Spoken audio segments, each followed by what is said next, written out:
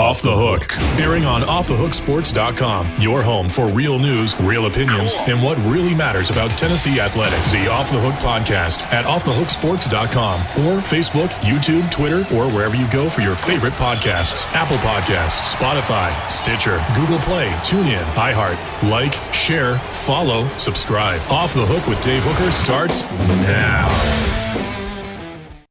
And welcome to the Vol Report. She is Amanda LaFratta in for John Adams. I'm Dave Hooker, and sponsored by Big Orange Phillies and Files Automotive Group. I'll tell you more about them. First, I want to remind you to like and subscribe, be a part of our community as we continue to grow with Big Orange Phillies and, of course, Files Automotive Group. Like and subscribe so you'll get more videos. So, coming up on the program today, a special Sunday version, depending on when you're listening, is – right after Tennessee wrapped up its second scrimmage and essentially the halfway point of preseason camp. And so we're going to talk some running backs. We're going to talk about what Josh Heupel had to say after the scrimmage. Also, coming up, we are going to talk about the three teams in the top 25 that Amanda says no question, no question that Tennessee would beat. Tennessee is not in the top 25, 28 to tabulate the votes afterwards. And Coming up on the program today, uh, we're going to take a look at Nico Iamaleava,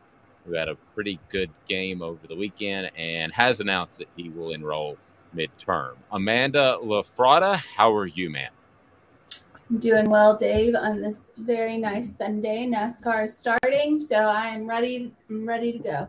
I tell you where that you can get a fantastic car as Files Automotive Group right there on Callahan. It's all about integrity. So let me get to right off the top what Josh Heupel had to say before I tell you about the Big Orange Phillies event that is awesome. So here's basically what Josh Heupel had to say after his press conference in the scrimmage on Sunday, and I want to address a couple of points. Now, one, I've covered coaching staffs that absolutely never put a timetable in anything, Amanda.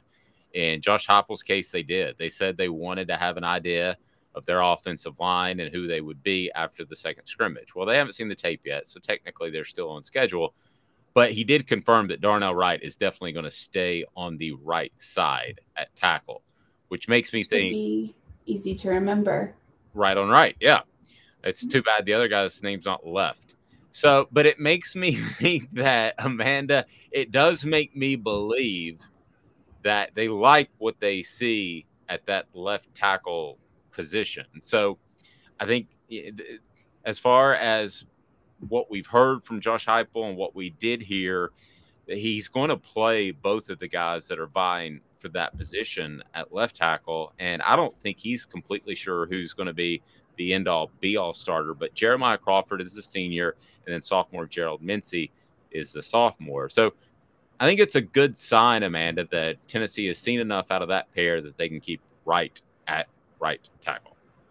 Yeah, absolutely. If you if you need someone at a specific position and it's not so much um it's not so much that they can't play that they they can play both, but you're deciding to stick them at one position, that means they're very good at that particular position and that you have other people who can fill the the other side. So if he's your obvious right hand man and you need people to move to the left side or to fill that left side, then it's very good that you have this guy who's able to do both. Yep. And then as far as the running backs, that's something that we wanted to touch base on.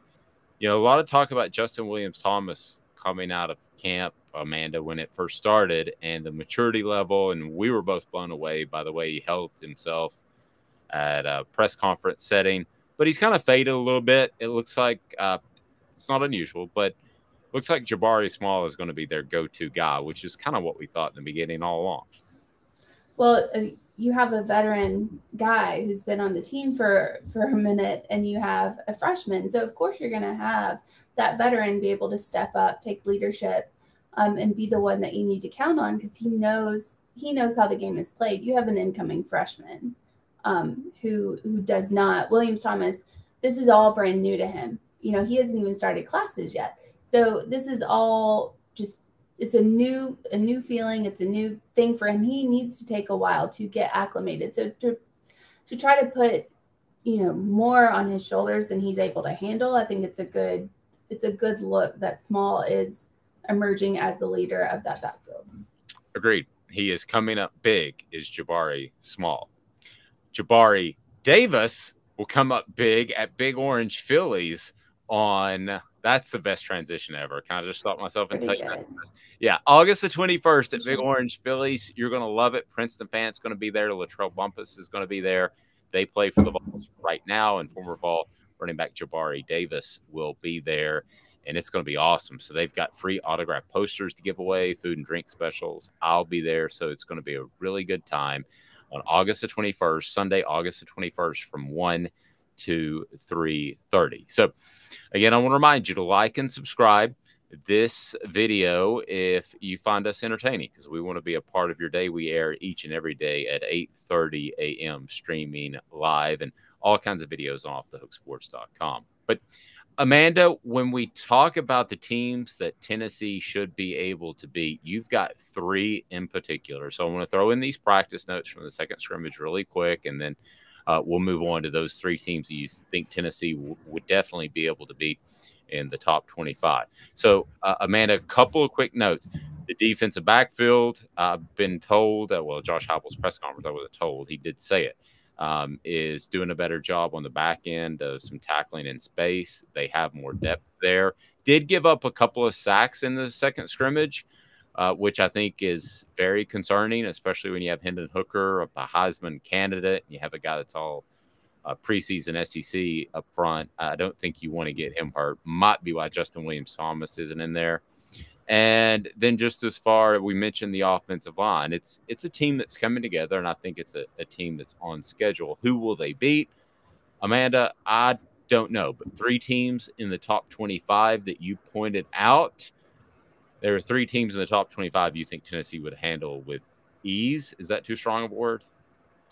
I don't think it's too.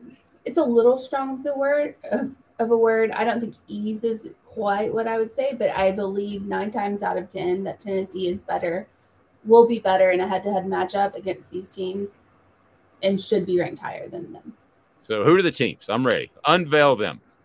All right. So at number 16, you have Pitt. And I know Tennessee goes up against Pitt and is right now a four and a half point favorite over Pitt, yet Pitt is still ranked higher than Tennessee is. And I, I'm not exactly sure why, considering the biggest thing for Pitt won. Well, no, you're right. I, I, looked at that too, and I was like, why is Pitt?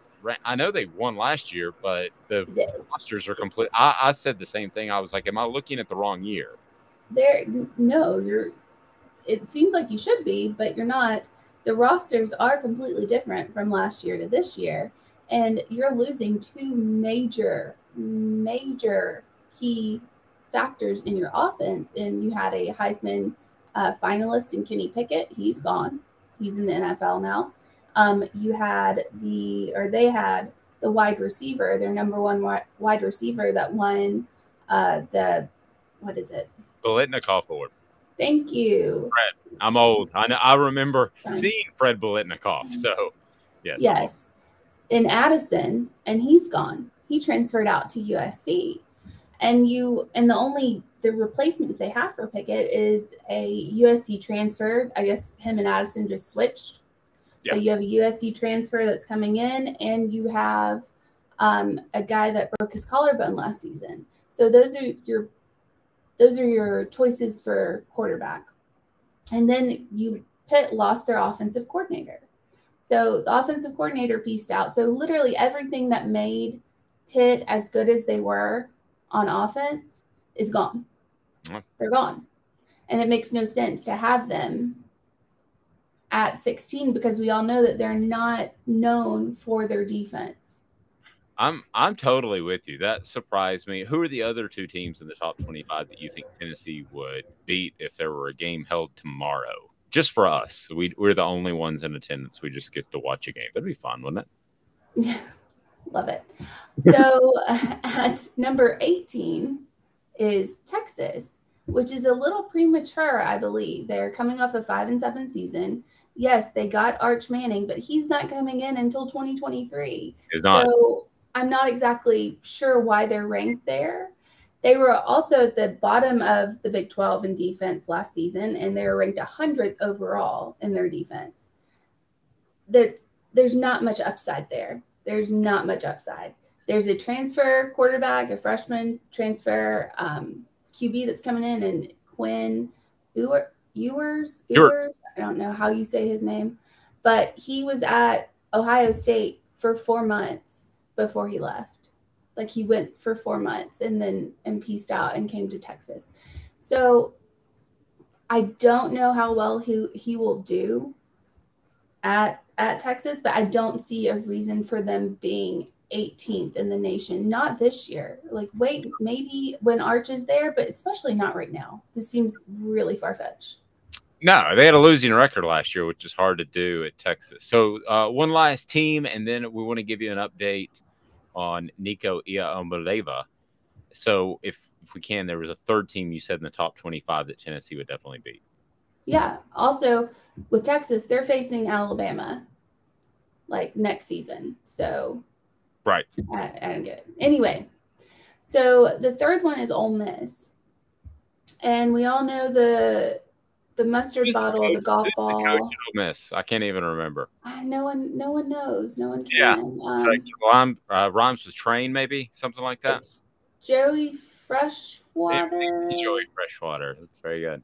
Okay, something like that. But yes, anyway, Kiffin's there, um, and he's a great offensive mind. We know that. Um, but aside from that, I mean, he's gone after players in the transfer portal because we know that he doesn't have quite the facilities and everything that is needed to compete in the NIL, especially not at Ole Miss in the SEC. And so he's bringing in a whole new offense. And the four starters that he did have, they're all going to be playing different positions. So it, yeah. it's difficult for me to to understand why they're ranked as high as they are, especially in the SEC you know, West, where they will be facing in Alabama, they'll be facing an LSU with Brian Kelly. I mean, it's it's a difficult. That's I think that's the more difficult side of the SEC to compete in.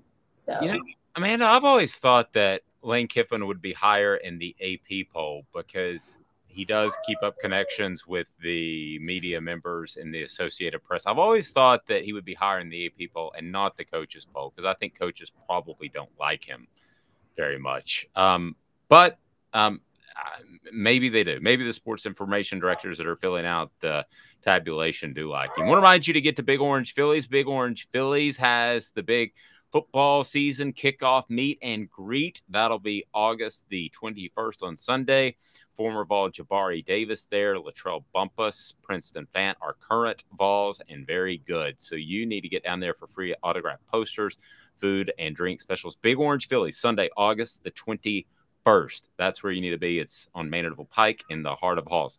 Please like and subscribe if you are enjoying this video so we can bring you more. And then did want to mention Nico Iamaleava who had a fantastic um, night in uh, over the weekend, and as they get ramped up out in Long Beach Polytech.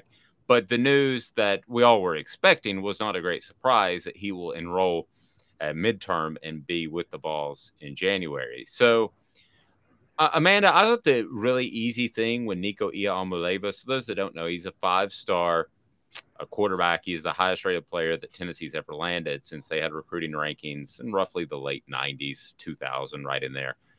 But uh, I mean, I think it's really interesting that he is compared a lot to Peyton Manning and the impact that Peyton Manning had on the program. I, I completely disagree. I think it's Heath Shuler. And I, I, here's why because I know I'm going to sound old. I'm going before your time, I'm going prehistoric days.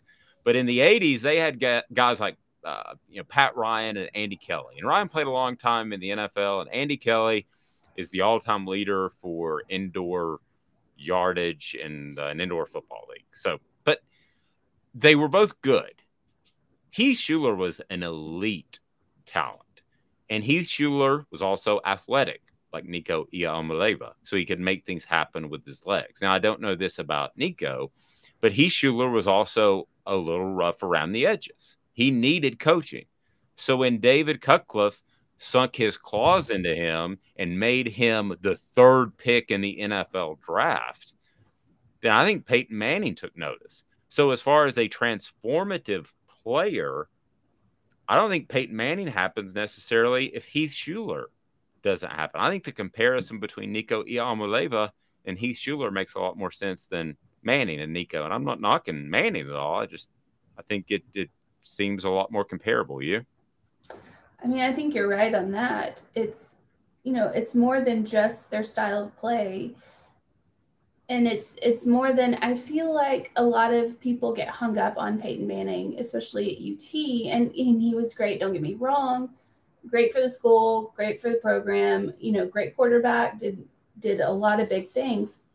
But they almost forget who came before him and it's like that is just completely white it's it's peyton and no one else. And i i agree with your assessment more of heath shuler being or nico being like heath shuler than he is like peyton. Peyton was never known for his legs.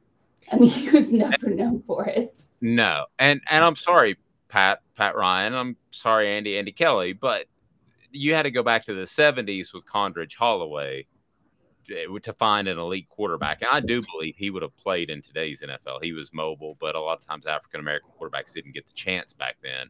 And it's a different style of play. But just the way the whole backdrop is, it, it, it makes it feel. And Tennessee also was uber talented when Peyton got there. I mean, they, they had plenty of talent. Now, they were talented when Heath was there too. But they were also a program that was on the rise, which I think this Tennessee program is. Anyway, it, it feels a lot more Shuler than Manning to me personally. Big Orange Phillies, August the 21st. That's where they'll be with Princeton Fant, Latrell Bumpus, former Vol Jabari Davis as well. Free autograph posters, food and drink specials right there at 6625 Maynardville Pike. It's very easy to find, great for North Knoxville. And also, Viles Automotive Group. It's all about integrity right there in Callahan. They want to be your go to dealer in Knoxville because of integrity. They want, they need, and they appreciate your business. So we'll be with you each and every weekday at 8.30 check us out on our youtube page check us out on offthehooksports.com for coverage of the vols so again the vol report with amanda lafratta in for john adams brought to you by big orange phillies and our friends at Files Automotive Group. This has been a production of Off Hook Sports.